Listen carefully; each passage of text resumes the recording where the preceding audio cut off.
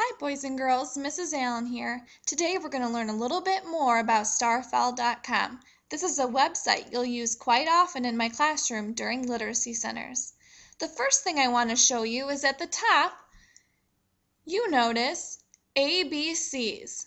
By clicking on this, you're going to go to a page with building blocks that has all the letters of the alphabet on it. By clicking on any of the blocks, you'll get to hear the sound the letter makes, as well as see it in uppercase and lowercase. Let's try the letter A. A.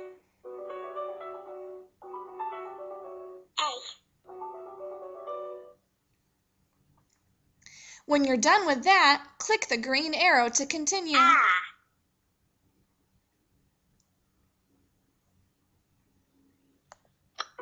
If you want to go back, A. click the green arrow again. A. When you're done with that letter, click the yellow X at the top screen. Goodbye. An interesting feature is down at the bottom. This will teach you the sign language signs for each of the letters. Let's try that.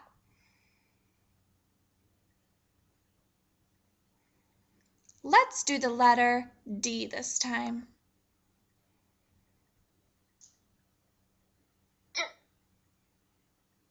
Can you try the letter D? Let's do it one more time. D.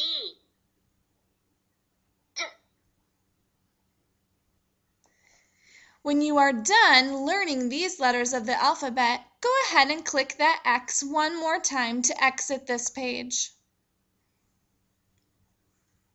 Now I'm done learning about my alphabet. I would like to do a new activity. If you notice at the top of the page, there's a little green arrow that says Main Index. That will take you to the first page that we saw.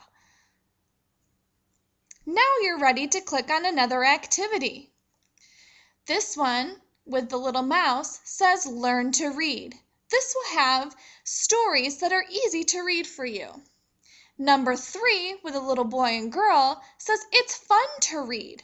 There's more stories here for you to enjoy. And number four, the stories get a little bit harder because you will be ready to read them on your own. Let's click on It's Fun to Read. You'll notice that there are many options for you. All About Me, Art Gallery, Magic, Music, Poetry, tongue twisters, bird riddles, and then it will take you to the I'm reading. Let's do tongue twisters. That sounds like fun. And I want to do Fuzzy Wuzzy. So I'm going to click on the name Fuzzy Wuzzy.